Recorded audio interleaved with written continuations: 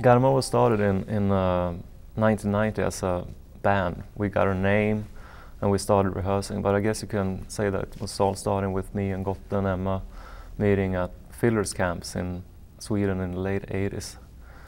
Um, that's where we actually got this whole interest started in, in the folk music. When we started the band, we met with uh, Rickard. Um, it was me, Gotte and Rickard who went to play in, uh, in Gävle, middle part of Sweden, to see a performance of uh, Hamlet. And uh, it just struck us how amazing this music was. So actually later the same, not the same day, but the day after we actually got together and, and started playing with some fake instruments that we had. I used my violin, Gotte didn't have any instrument at all, so he got his dad's banjo, so he tuned down one octave so he would have a drone banjo. Not really uh, how it sounds today, but uh, that was a really rough start. Uh, Rickard played on his classical guitar and it sounded just awful. But uh, all things started from there and uh, we had a lot of fun and we, we made tunes. And then in 1992, Jens joined the band.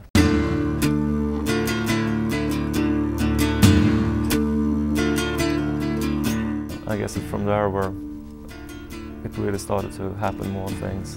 Um, with the style of the band. And uh, we got a record contract deal in, well, in 1992, and we started recording a demo for that. And, and uh, at that time, we asked Emma if she wanted to join for guest vocals on, on the first record. And no, she didn't really want to do that. She was young and shy and didn't want to stand in a studio singing in a microphone, but she did, and uh, it turned out fine. And and after that, she was also part of the band, although she denied it for like six months. But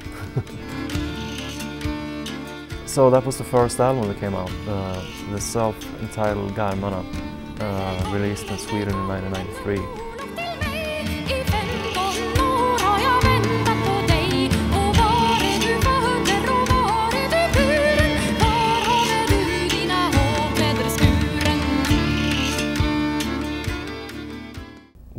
Started on the second album pretty fast, Vittrad. And uh, by that time we were more focused on what we wanted to do. We knew we had been in a studio before. Emma was part of the band. She had a lot, she had more songs to contribute and, and uh, we had better ideas how to do it. And, and we had a better studio to be in. And, uh, so we started to record Vittrad in, in 1993. That was a really fun recording and it was uh, the first time we started to use uh, electronic instruments.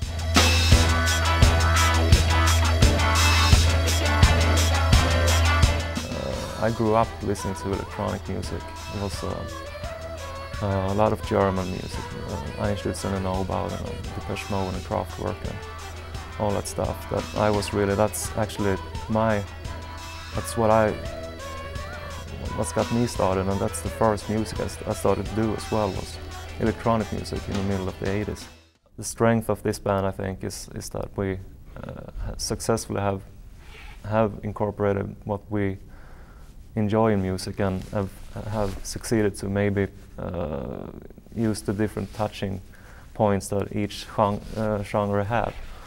Like, um, like from from the rock music, from electronic music, from folk music, and um, I mean even from classical and country music, it's it's in there somehow. And uh, uh, on Vittrad we started to a little bit touch on that, but not to. It was more as a we had a fun time doing it.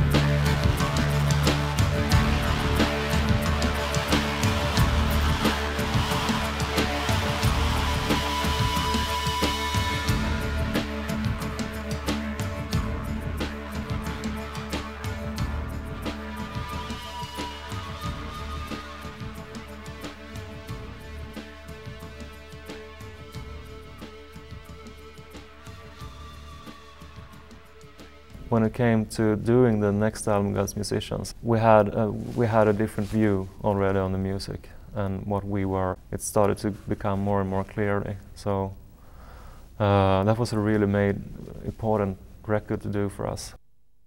Vänner och fränder de lade skulle gifta bort sin fränka i år ut i rosen. Lade områd hur de skulle gifta bort sin fränka i år.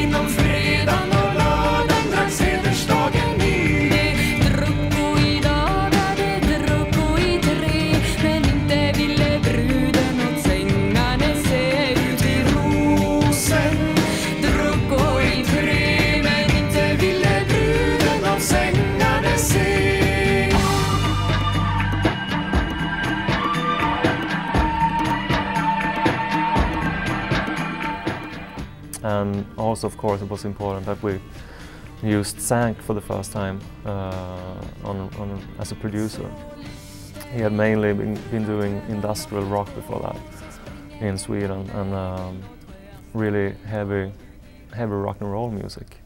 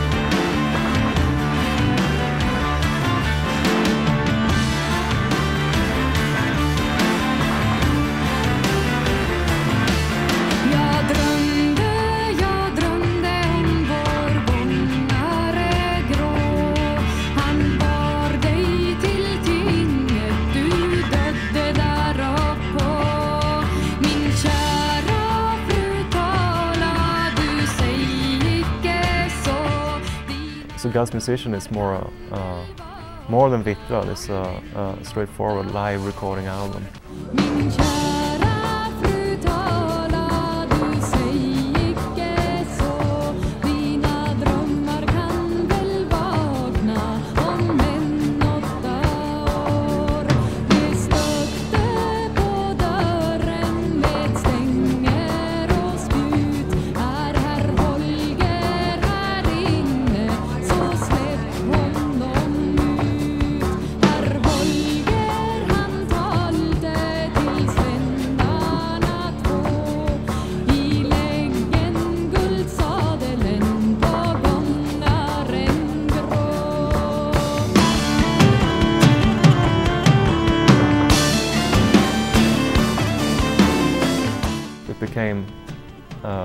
Sort of a platform for us to stand on for the future. In 95, 96, I, I, I got my own stuff and I started to do demos at home and it, that just changed everything. So much more music came out and uh, it became more interesting and it became um, just everything about it made more sense, both uh, in an aesthetic way of thinking about music too. I think with Vengeance, it was uh, uh, we really had a, a, a, very strong uh, opinion about what we wanted it to be like. We wanted it to be groundbreaking.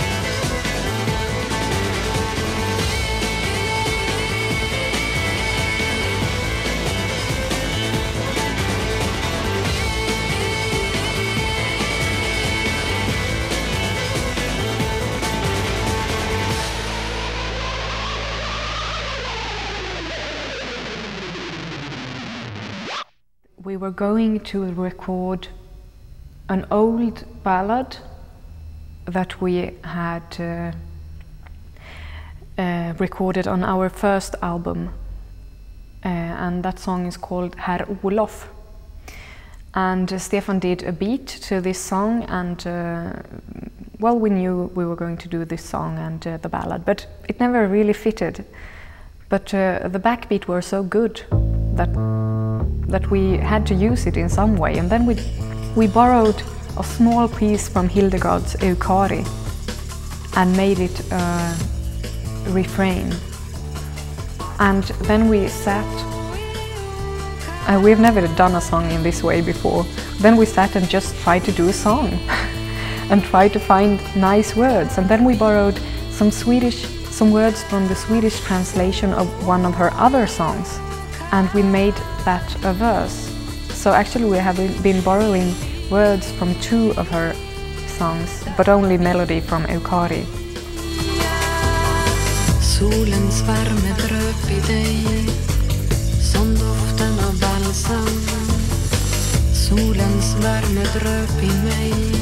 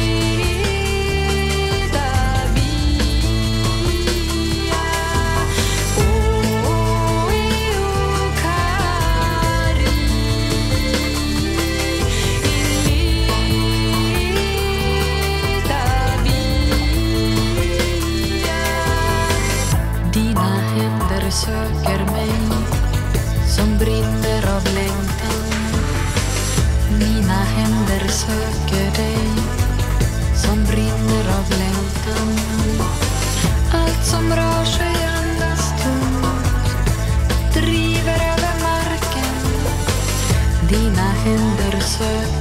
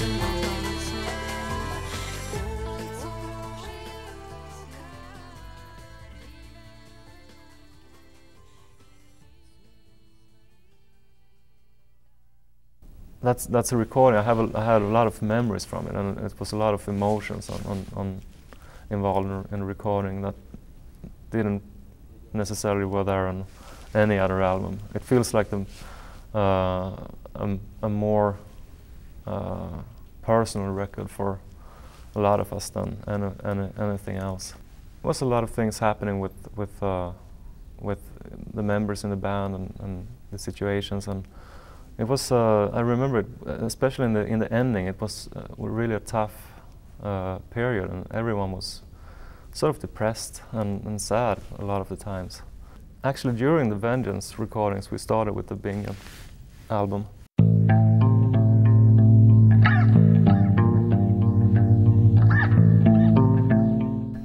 This project uh, started as a request uh, from some people who wanted us to do a tour with music by Hildegard von Bingen. They had heard her music and uh, they thought that it would fit Garmarna really well. Uh, so they gave us the material, uh, CDs with the choirs and other people playing her music and and uh, we listened to it and we said okay okay we'll do this Emma had the songs, the, the, the vocal tunes of, of this really old material written by Hildegard von Bingen who was uh, living in Germany in the 11th, no 12th century.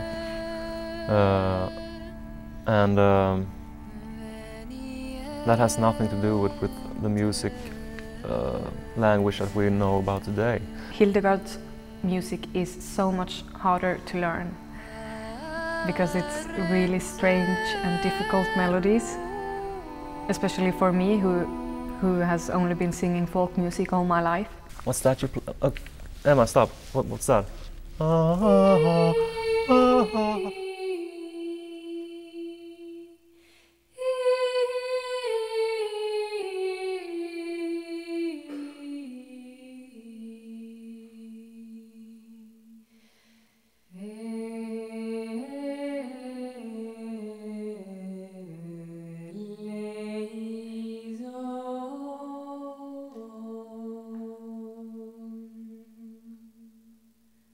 It is still her tunes, notes, I mean, and melodies, but sometimes we have to push a little in uh, one place or make it longer because we want it to fit with our music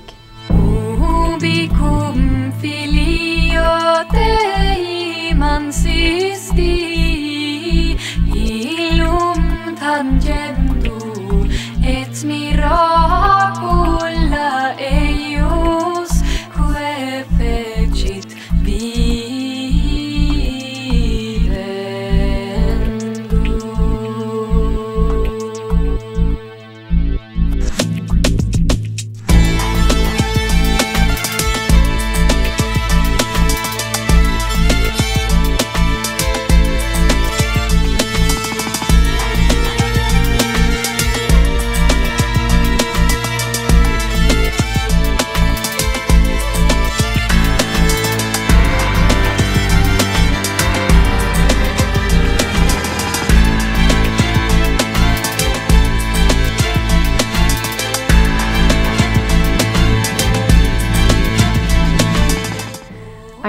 Nothing about Hildegard von Bingen when we got this uh, request.